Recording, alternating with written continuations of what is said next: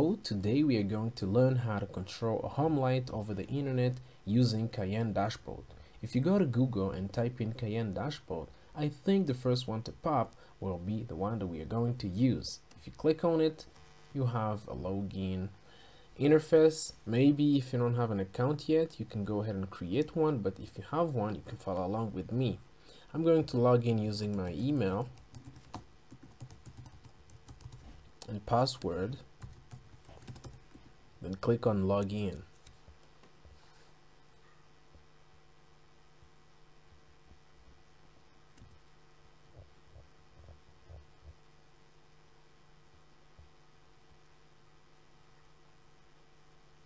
Then after I am logged in successfully, I am asked to choose the device that I'm going to use with my project. In the basic, we have Raspberry Pi, Arduino, LoRa, and bring your own thing. In my case, I am going to use the Wemos D1 Mini, which is a version that supports, which is an Arduino version that supports ESP8266, which means more like the Node MCU and uh, Wemos D1 R1. So you can see that we don't have ESP8266 in this list. That's why we need to choose bring your own thing. I'm going to click on bring your own thing. Then the, the second step is to connect your device. How are we going to connect our device? We need to use the MQTT protocol. MQTT is Message Queuing Telemetry Transport, which is a lightweight message protocol that was developed by IBM in the early 1990s. So, which means it allows sensors, maybe devices, microcontrollers, to transfer lightweight data into the cloud. So we're gonna need the MQTT username, which is this one right here. We're gonna need the MQTT password, the client ID. These are very useful information. If you see down here, you see that the the, the dashboard is waiting for the board to connect. So when is the board going to get connected? We need to go to our Arduino IDE, then start coding. The first thing that we need to include is the Cayenne dashboard, which is written like this. Notice if you don't have it, you should download it. ESP8, which is the Cayenne MQTT ESP8266.h. We need to also uh, define a debugging thing for Cayenne, which is Cayenne debug. Next, we need to define, sorry, we need to define a function that allows us to print things onto the Cayenne dashboard, which is print serial. Then we need to connect our dashboard to the Wi-Fi I'm going to define the SSID. It is an array. Then I'm going to put in my Wi-Fi, which is Zoom 101. Then go ahead and put in the password, the Wi-Fi password. Sorry for the wrong spelling. Password, which is um, uh, Zoom, I mean 101 x um 101 then we need to to to use these data right here that we have. We need to define the mqtt username the mqtt password and the client id go back. I'm going to define username I'm going to do that in a while. We need to copy those from the dashboard and put in there. We need to also uh, define the MQTT uh, password. Password, just like that. We need to also specify the client ID, just like that. But this one is a character. Then I need to go to my dashboard and copy everything. I need to copy the MQTT username bring it to the dashboard. I mean bring it to the codes. I need to bring the MQTT password put into my codes. Like here. Go ahead and copy the username the client ID put it into my password yeah.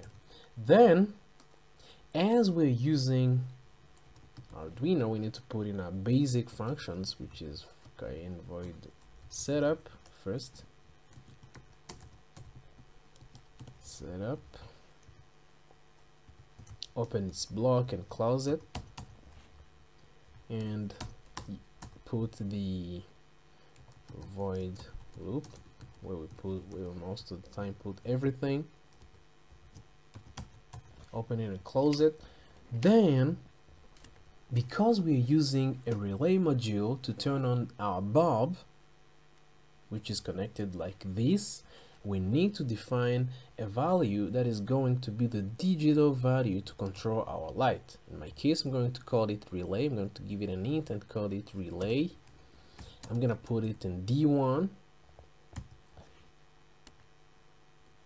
and I'm going to go down into the void setup then begin these values right here that we declared. First thing I need to do is to do use this function cayenne that begin open and close bracket. So now I need to put in the username. I'll go ahead and copy and paste. Put in the MQTT password I'm also gonna need to put in my client ID just like that. Next I need to put in my SSID which connects us to the Wi-Fi and the password. So now I need my relay to be off when the program starts. That's why I need uh, I need to first define the pin mode of where we're going to connect our light as output because it's it turns on something it's an output. Then I'm gonna go ahead and turn it off at first. Digital using digital write which means I need to turn off my relay which is relay I'm going to put it low.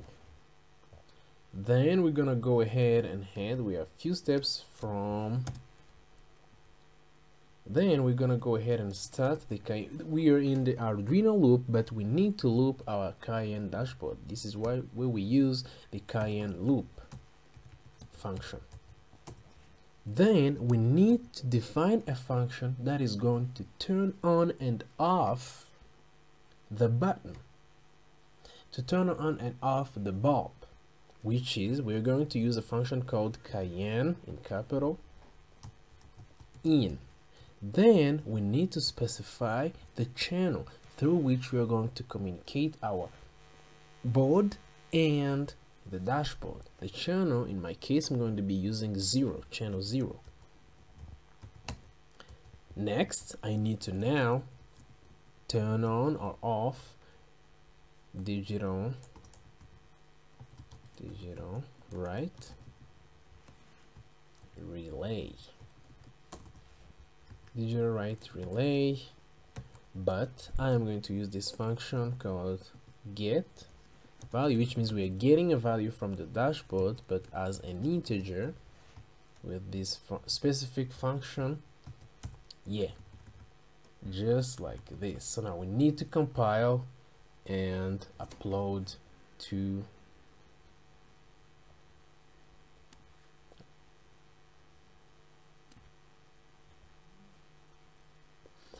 we need to compile and upload to our dashboard.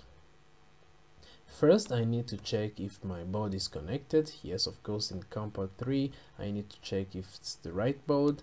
Then click on upload.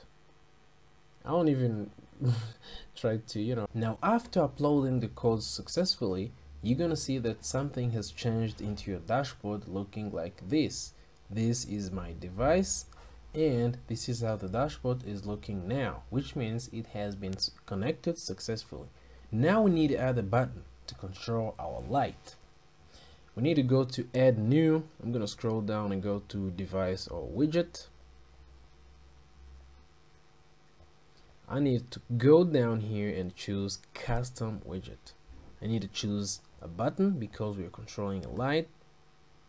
Then go ahead and give it a name. Make sure the device that is chosen is the right one. I'm gonna call it home light.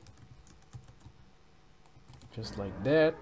So now I need to go down here and specify that it's um, digital actuator because a light is a digital actuator I'm going to choose unit as digital 0 and 1 because if it's 0 the light is off. If it's 1 the light is on.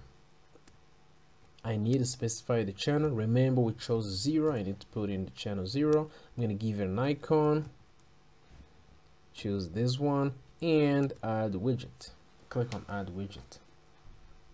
In a few moments after I click add widget you're gonna see that I have a beautiful button right here I can you know readjust it and make it be, look a little bigger.